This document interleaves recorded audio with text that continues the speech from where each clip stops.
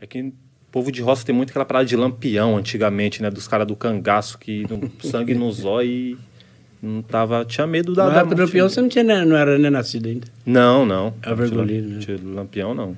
Mas a gente vê as histórias, tipo, antigamente os caras não tinha, tava nem pra nada, né? Hoje em dia. Eu era fã, eu era fã dele. Você gostava do Lampião? Ixi, seguia, nossa, Já, seguia ele. já Seguia chegou a dele, porque ele era cara...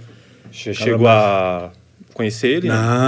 Ou ele já não. morreu antes? muito antigo. Não, eu já li muito livro dele, já assisti muito filme dele, eu sabia da história dele. Ele, ele só respeitava uma pessoa no, no, no sertão dele, só o Padre Cícero. É verdade.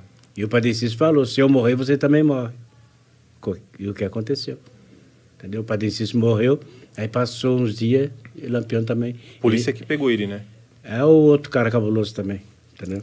Cortou a cabeça dele, pôs na lata de querosene e levou pra cidade. Mas foi polícia ou não? Polícia Polícia. É. Pegou ele e a Maria Bonita, né? Maria Pegou. Bonita, não? Pegou ele, o cara caguetou, ele mandou um cara fazer compra e levar para ele, no- lá no meio do mato onde ele estava acampado.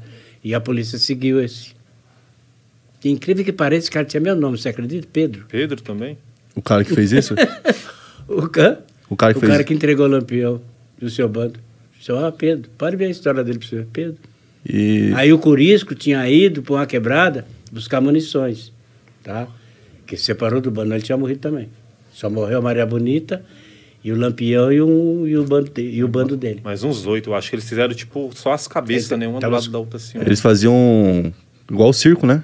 Passeando, mostrando a cabeça deles, né? É verdade. Pra o povo acreditar, né? Que Dele- matou o Lampião. Duvido, Matou. ninguém acreditava, não. Você não tinha medo disso acontecer contigo em algum momento?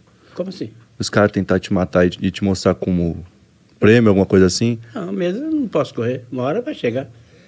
Entendeu?